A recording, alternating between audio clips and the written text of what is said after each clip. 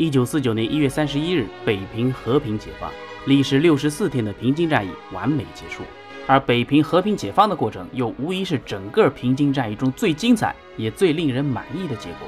它除了让华北第一大城市免遭战火之灾，更让华夏祖先留给后世的文物珍宝得以保存。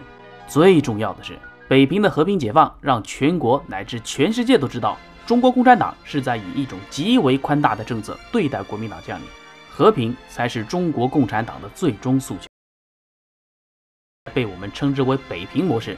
在解放军向全国进军的过程中，发挥了巨大作用。所以从这几点来看，平心而论，傅作义先生是功在人民。当然，北平的和平解放并不是一蹴而就的，傅作义也不算是心无杂念之人。在此之前的华北战场，除了国共双方的政治博弈，战场上也免不了一较高低。让我们继续上一期的内容，把时间拉回到一九四八年十二月十一日的华北战场，继续平津战役的故事。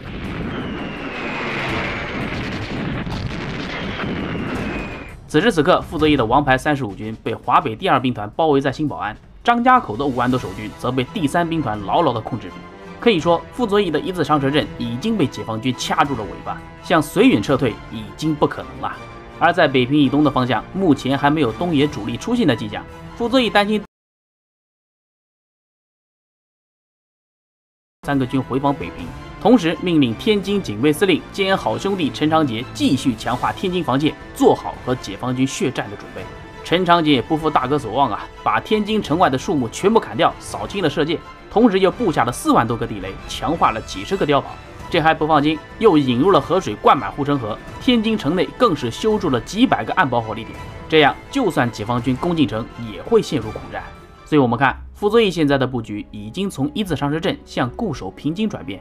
也就是坚守城防工事，打死不出城。那被包围的新保安张家口的守军呢？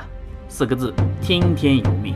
但是令所有人都没有想到的是，军委并不打算迅速吃掉这两座敌人，反而要通过围而不打，让傅作义产生一个错觉，那就是啊，这两支部队还有生还的可能。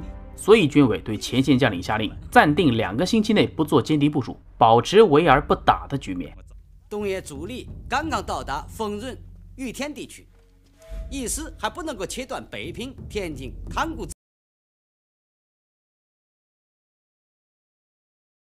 打掉新保安、张家口，等于逼迫傅作义不顾一切的从海上撤走。看来有必要做硬性规定，两星期内对新保安、张家口围而不打，让傅作义不好一拍屁股就跑喽。那么这仅仅是为了让傅作义产生错觉吗？当然不是啊！还有一点是因为傅作义已经在私底下联络到了主席，透露了和谈甚至是起义的想法，所以对新保安张家口围而不打，一方面是为了稳住傅作义，防止他从海路逃跑；一方面也是在给傅作义一个台阶下。你想，傅作义坐镇华北，拥兵五十多万，是国民党阵营中妥妥的实力派呀！如果能够争取到他的起义，那将在全国范围内引起巨大的轰动，也会给国民党致命一击。所以傅作义一表明和谈态度，主席立刻重视起来。但是作为一个成熟的政治家，主席一眼就看穿了傅作义是醉翁之意不在酒。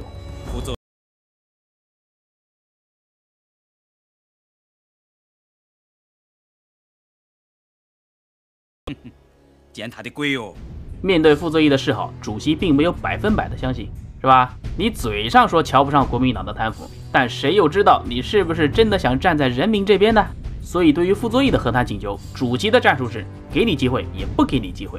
所谓的给你机会，就是主席会根据形势精心准备和谈方案；至于不给你机会，就是为了防止你利用和谈拖延时间跑路啊，或者谋求不正当的政治利益，解放军就会在军事上步步紧逼，超过一定时间后，就会以军事打击解决平津战事。那说的直白点就是啊，谈可以，但。别耍花样，反映到军事上，就是华北军区保持对新保安张家口的包围，而东北野战军包括先遣兵团在内的七十多万大军，加上十五万民工，则在林彪、罗荣桓、刘亚楼三位首长的率领下全面入关，会合华北军区司令员聂荣臻后，向北平、天津、塘沽、唐山等地发起全面的战略包围，并由萧劲光司令员率领东野第。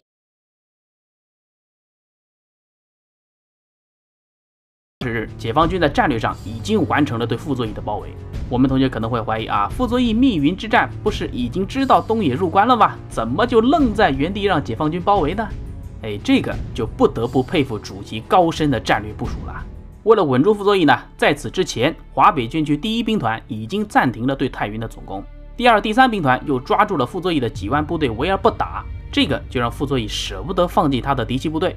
与此同时，南线激战正酣的淮海战场，军委又命令华野暂缓总攻杜聿明集团，让傅作义认为呢，他在北方战场还没有被完全的孤立，所以傅作义没有能够下定决心放弃平津啊。除了有他自己不愿意去江南的因素。更重要的是，是他在战略心理上被主席完全拿捏住了。而为了唱这一出包围大计，太原、平津，甚至是淮海战场，都在主席的命令下配合演出。啊，不得不说啊，这待遇啊是给足了傅作义面子。哎，大家不要觉得主席这是兴师动众多虑了。事实上，傅作义在这期间呢，已经接到了蒋介石的命令，要放弃平津南撤。他手下的中央军要是稳不住，说不准呐就会脱离傅作义的指挥，自己跑塘沽坐船跑了。再者，傅作义虽然有谈判意向，但却有自己的。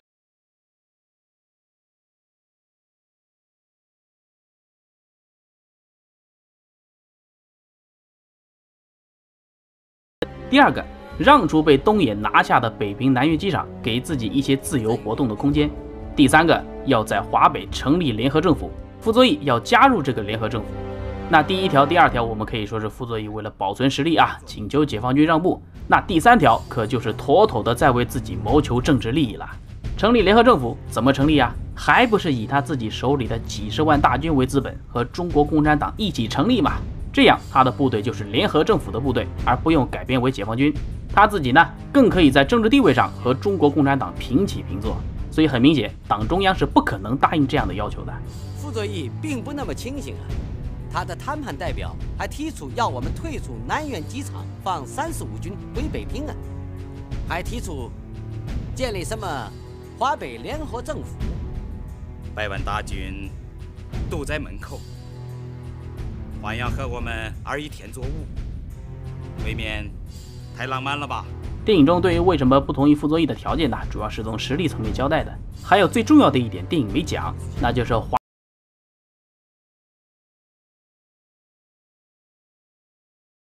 五年的重庆谈判中，我方就提出来要组建民主联合政府，是蒋介石自己撕毁的双十协定发动内战。所以你看，仗都打成这个样子了，联合政府还有谈的必要吗？再者，傅作义只是国民党的一个地方将领，还没法全权代表国民政府。你一个地方大员就要和中共成立联合政府，那其他的国民党将领都要在自己的势力范围内成立联合政府，怎么办？是吧？中国就一个，你要搞几个联合政府啊？这样不就分裂了吗？要组建联合政府，也是和全国所有的民主人士和党派一起组建，而不是单单和傅作义。但是我们刚才讲过，蒋介石撕毁了和平协议，联合政府的主张已经被国民政府用实际行动否决了，所以到了现在就更加没有提出的必要。说白了，傅作义的这个要求就是我们刚才说的，在谋求不正当的政治利益。所以，为了让傅作义认清现实，尽快的让他放下武器，主席命令华北第二兵团于一九四八年十二月二十一日对新保安发起总攻。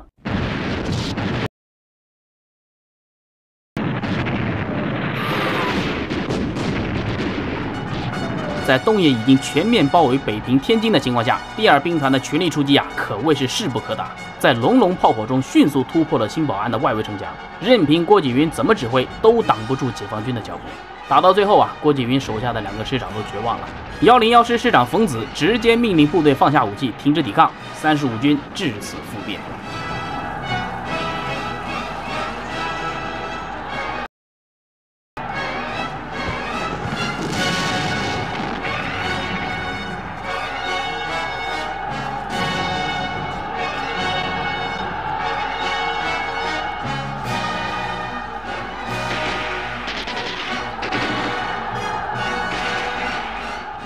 而军长郭锦云呢，眼看解放军排山倒海般的打了过来啊，自知突围无望，又不愿意当俘虏给傅作义丢脸，于是拔出手枪，在绝望中自杀。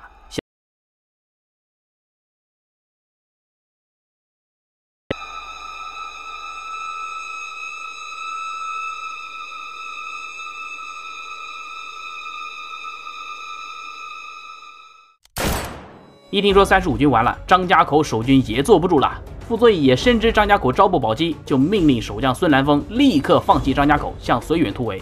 但是主席早就料到这一点，命令华北第三兵团加上东野四十一军提前在半路上埋伏，直接杀了孙兰峰一个措手不及。我们要知道，影响一个部队战。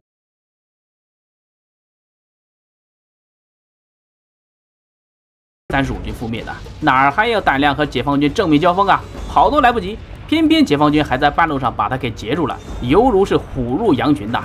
国民党这五万四千人，不到两天就全军覆没。就是五万多头猪，共军抓三天也抓不完。而孙兰峰呢，运气出奇的好，在被解放军俘虏之后啊，竟然又神奇的跑了，冒着天寒地冻，硬是走了七天呐，最后是走到了归绥，被董其武救下了。至此，华北军区收复张家口成功雪耻，而平津战役第一阶段也胜利结束。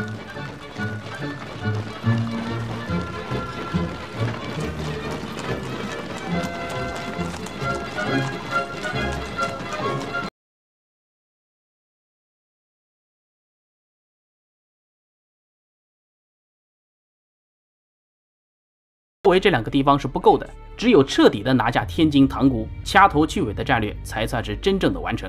远在南京过圣诞节的蒋介石一听说张家口失守，立刻就派出小儿子蒋纬国啊前往北平，再度的劝说傅作义南撤，但是也没成功，反倒是西柏坡在年底啊正式发布了一份战犯名单，列举了四十三个国人皆可杀的战争罪犯，而傅作义就被列在了第三十一位。刚刚收听到新华社广播，列举出。所谓国人皆曰可杀的头等罪犯，四十三名，第一名是蒋先生，名单上第三十一名。一听这个，傅作义坐不住了。他认为共产党把他列入战犯名单，是把他往绝路上逼，不给他活路。但其实啊，这是主席的一番良苦用心。我们之前说过，蒋介石一直有派人监控傅作义，他的异常举动在此之前已经被上报给了蒋介石。所以蒋纬国来的时候就给傅作义带了一封信，信里面暗示啊，蒋介石已经知道了傅作义在和主席接触。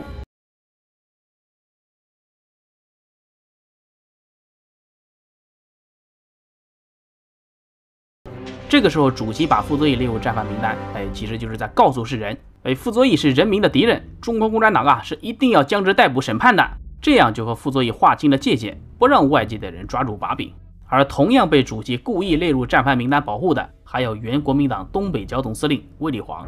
当然，公布战犯名单也是中国共产党在告诉世人，这一场解放全中国的战争，人民必胜。现在已经到了和蒋介石反动政权做清算的时候了。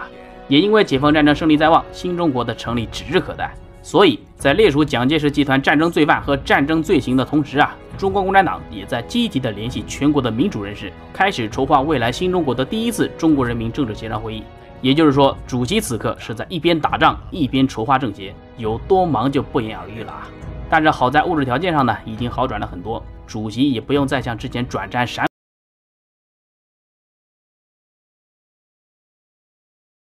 我们插一句题外话啊，长征的时候有多苦啊就不提了，就说说解放战争的时候，主席转战陕北一年的时间里面呢，被胡宗南的几万大军追着跑啊，吃的是黑豆，住的是野外，还要时刻保持清醒，指挥全国的解放战争。平日里发烧、便秘、肠胃炎、营养不良，那都是常有的事啊。最凶险的时候啊，甚至跟胡宗南的部队就隔着一个山包，只要发出一点声响，就会立刻暴露位置。但就这样，主席仍然没有放弃，没有叫苦。一路是风风雨雨的走过来，为革命尽心尽力。所以再看看我们现在的条件啊，首先生命安全是可以得到保证的，像吃的、穿的、住的，哪一样不比主席那时候好上十倍啊？所以要珍惜现在的幸福生活。如果我们同学觉得现在的物质条件还不够幸福啊，那我们就去勤奋学习，努力工作来创造幸福。遇到问题不要怨天尤人。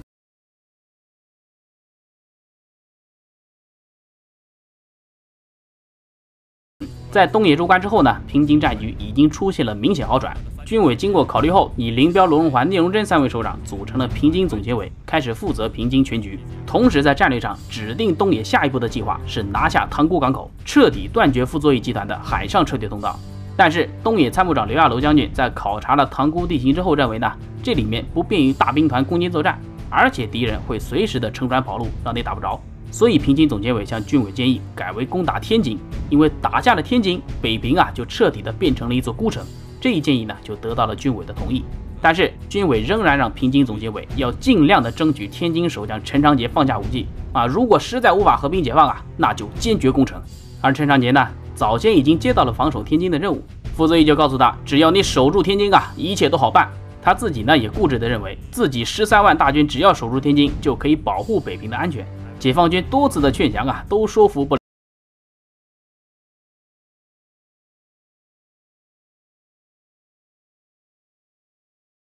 我军展开和平谈判的内容透露给陈昌杰啊，意思就是告诉他，你大哥已经在跟我们谈判了，是吧？你也不要守了，也加入到和谈队伍里来。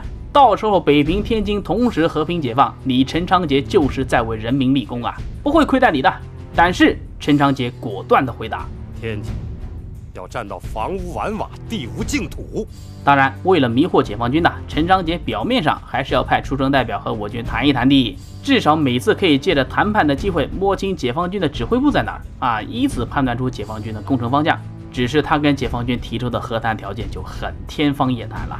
什么自己可以放弃重武器啊，可以让出天津啊，但是解放军必须要放自己的部队海运去江南的，这种条件想想都不能答应啊！说白了，陈长捷就是死战不降啊，坚决要给自己大哥尽忠，非常的讲义气。扑街，讲义气，你落去同孔融讲啦。他可能认为，就算自己死战不降啊，到时候只要傅作义的和谈有结果了，自己同样也会被释放。可是哪有那么简单呢？平津总监委一方面委任刘亚楼参谋长为攻打天津的总指挥，一方面集结了三十四万大军，扫清了天津的外围据点。同时，为了保障前线物资充足，就动员群众在一月的寒风之中扎兵开河，保障前线的粮食弹药补给不受影响。这场面就像淮海战场人民群众的小推车一样啊，浩浩荡荡奔涌向前。运送物资的船上更是直接写上啊，打到天津卫，活捉陈长捷。这个口号跟华野之前攻打济南的标语是如出一辙啊！打进济南府，活捉王耀武。那王耀武已经被解放军活捉了，陈长捷恐怕也难逃被俘的命运。哎，我们同学可能会纳闷啊，陈长捷有十三万大军呐，而且天津是华。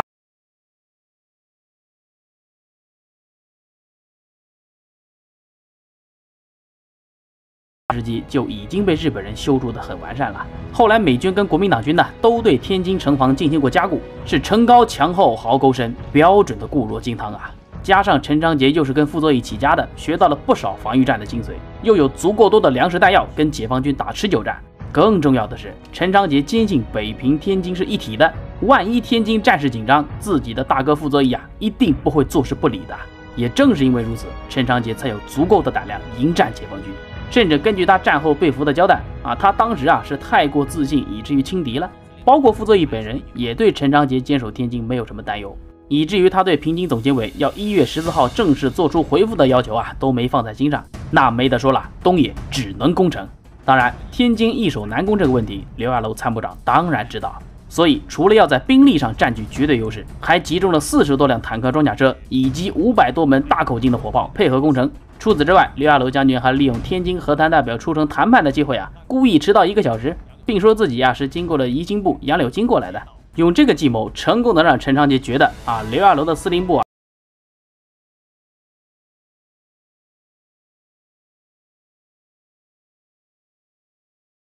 参议会代表回来说，刘亚楼坐车经过宜兴府、杨柳青，走了一个多小时才和他们见面。这样计算下来，刘亚楼的指挥部是设在天津以北的杨村。刘亚楼把指挥部设在城北，肯定刘亚楼是把主攻方向放在城北。可是兵不厌诈呀，刘亚楼参谋长真正的主攻方向其实是在东西两侧，目标就是拿下城内的金汤桥，将天津拦腰斩断。军委县令三天。你需要几天？我不好讲，三十个小时就够了。军中无戏言哦。陈长杰很自信，国民党的和谈代表也很自信，他们坚信凭借天津的城防，解放军不苦战一个月啊，是绝对拿不下来的。但是在平津指挥部，刘亚楼参谋长同样自信满满，因为他相信以东野战士攻无不克的战斗意志，以地下党同志冒死送出来的城防图，三十个小时必定拿下天津。一九四九年一月十四日，总攻天津开始。